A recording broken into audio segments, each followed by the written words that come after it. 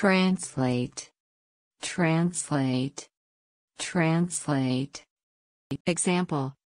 I used an online translation tool to translate the document from Spanish to English.